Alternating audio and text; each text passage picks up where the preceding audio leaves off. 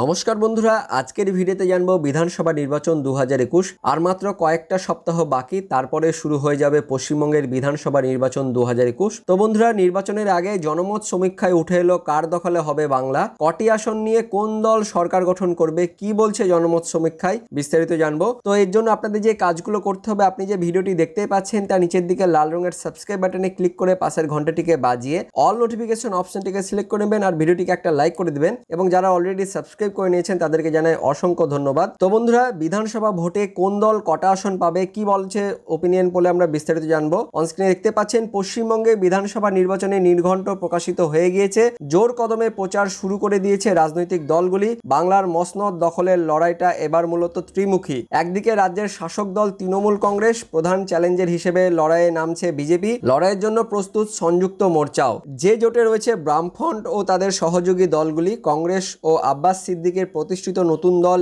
Indian secular front বা ISF. প্রত্যেকে আসনে হতে পারে হাড্ডাহাড্ডির লড়াই। বাংলার আগামী বিধানসভা নির্বাচন কোন দল কটি আসন পাবে, এ ব্যাপারে জনমত সমীক্ষা চালিয়েছিল সিএনএক্স। ফোনে নয়, সরাসরি ভোটারদের বাড়িতে গিয়ে কথা বলেছিলেন সমীক্ষকরা। দ্বিতীয় দফায় সিএনএক্স এবিপি আনন্দের সমীক্ষায় দেখা গিয়েছে। রাজ্যের শাসক দল তৃণমূল কংগ্রেসই পেতে পারে একশো চুয়ান্ন থেকে একশো চৌষট্টিটি আসন। অনস্ক্রিনে দেখতে পাচ্ছেন যে রাজ্যের শাসক দল আবারও তৃণমূল কংগ্রেস পেতে পারে একশো চুয়ান্ন থেকে একশো চৌষট্টিটি আসন। রাজ্যের প্রধান বিরোধী দল হিসেবে উঠে আসছে বিজেপি। গত লোকসভা ভোটে রাজ্যে আঠারোটি আসন জিতেছিল গেরুয়া শিবির। সিএনএক্স, এবিপি আনন্দের সমীক্ষায় দেখা গিয়েছে, আসন্ন বিধানসভা ভোটে একশো দুই থেকে একশো বারোটি আসন পেতে পারে বিজেপি। দেখতে পাচ্ছেন বন্ধুরা, যে বিজেপি পেতে পারে একশো দুই থেকে একশো বারোটি আসন, অন্যদিকে তৃণমূল কংগ্রেস পেতে পারে একশো চুয়ান্ন থেকে একশো চৌষট্টিটি আসন। আর কোন দল কটি পেতে পারে সেটা আমরা দেখে নেব।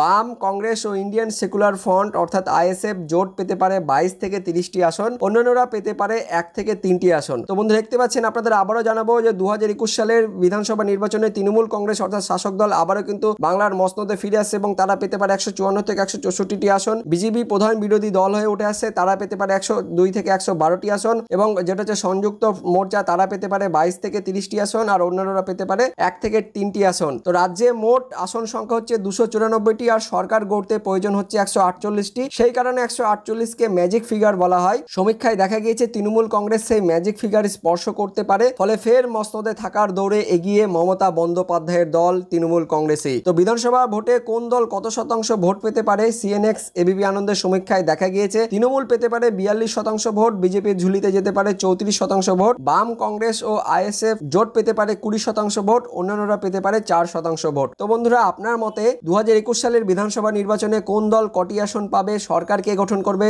আপনার মতে কে হতে পারে? অবশ্যই ভিডিওর কমেন্ট সেকশনে কমেন্ট করে জানিয়ে দিবেন টিএমসি না বিজেপি না সংযুক্ত মোর্চা কোন দল ভবিষ্যতে বাংলার মসনদে বসবে অবশ্যই ভিডিও কমেন্ট সেকশনে কমেন্ট করে জানিয়ে দেবেন। এবং ইতিমধ্যে টিএমসি এবং বিজেপির ক্যান্ডিডেট কোথায় কে দাঁড়াচ্ছে সেটা নিয়ে অলরেডি আমরা ভিডিও করে দিচ্ছি তো সেই ভিডিওটি যদি না দেখে থাকেন, আই বাটনে আমরা লিঙ্ক দিয়ে রাখব, সেখান থেকে দেখে নেবেন এবং এই ভিডিওর ডিসক্রিপশন বক্সে আমরা লিঙ্ক দিয়ে রাখব যে বিজেপির ক্যান্ডিডেট কারা কারা দাঁড়াচ্ছে, তৃণমূল কংগ্রেসের কারা কারা দাঁড়াচ্ছে, অবশ্যই সেই ভিডিওগুলোর লিঙ্ক দিয়ে থাকবে, সেখান থেকে দেখে নেবেন। আর এই ভিডিওটি ইনফরমেটিভ হয়ে থাকলে বা ভালো লেগে থাকলে একটা লাইক করবেন, অনেক অনেক শেয়ার করবেন। দেখা হচ্ছে পরবর্তী আপডেট নিয়ে, ততক্ষণের জন্য বন্দে মাতরম, জয় হিন্দ। টাটা!